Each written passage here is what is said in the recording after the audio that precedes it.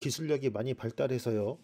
요즘에 월드컵에서는 막 함부로 우기기도 불가능해진 시대로 보입니다. 여러분, 월드컵 공인구에 적용된 미친 기술력을 한번 볼게요. 여러분, 이거 우루과이전에서 지금 호날두가 헤딩을 하는 모습인데, 어, 지금 맞았다고 주장을 했죠, 호날두는. 그런데 알고 보니까 그게 아니었다. 이게 다 과학 기술로 밝혀, 밝혀졌다는 이야기인데요. 봅시다. 포르투갈과 우루과이전에서 나온 포르투갈의 선제골 장면을 두고 각종 매체에서 이제 설행설래를 하고 있습니다.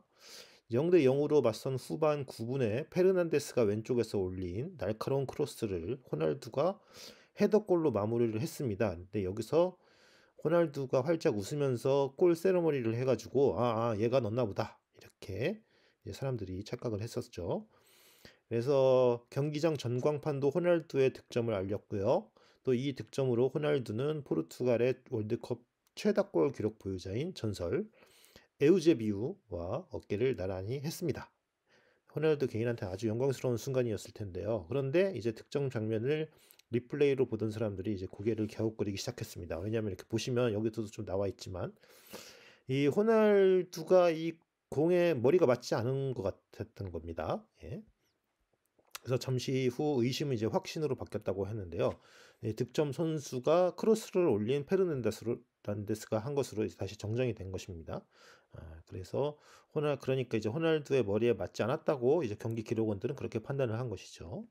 또 이때 중계 방송 카메라가 호날두와 페르난데스를 차례로 클로즈업을 했는데 호날두는 멍한 웃음을 지었다고 합니다. 예, 멋쩍었던 거겠죠. 음. 어쨌든 그렇게 돼서 이제 호날두의 이 득점 기록은 사라져 버렸고요. 아, 경기 후 호날두는 공이 자신의 머리에 맞았다 이런 뭐 제스처를 취하기도 했는데요. 그래서 궁금증이 다시 증폭되기 시작을 했죠.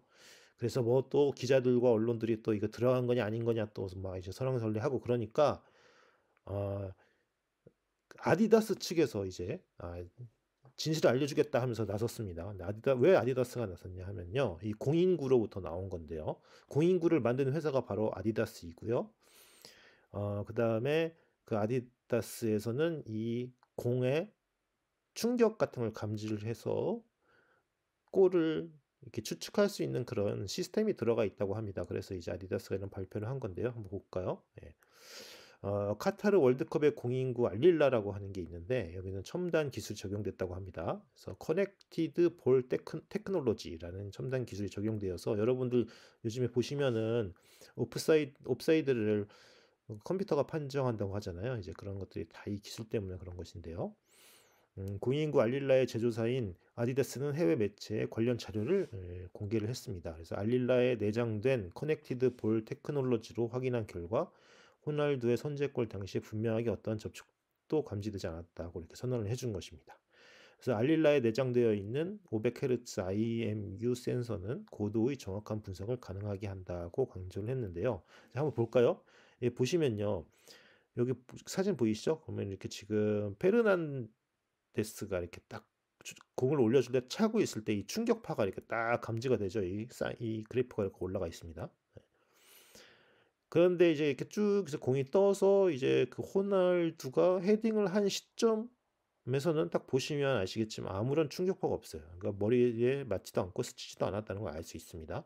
근데 이 공이 다시 이 잔디밭에 튕겼을 때에는 또 충격파가 이렇게 나와서 이렇게 충격파가 이렇게 올라가는 걸 볼 수 있죠, 여러분.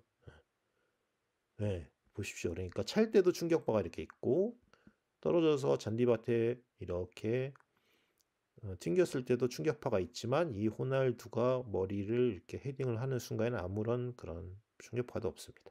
그러니까 결국 머리에 맞지 않았다는 뜻이 되죠. 이렇게 컴퓨터가 정확히 판정을 하니까 이제 호날두도 이거 뭐 인정해야지 어떡하겠습니까?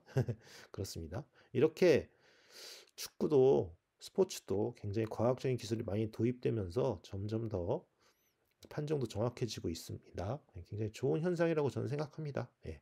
그래서 오늘 이런 소식을 하나 전해드렸고요. 다음에 더 좋은 정보로 찾아뵐 테니까요. 좋아요와 구독 부탁드리고요. 예, 여러분 추운데 감기 조심하십시오. 예, 감사합니다.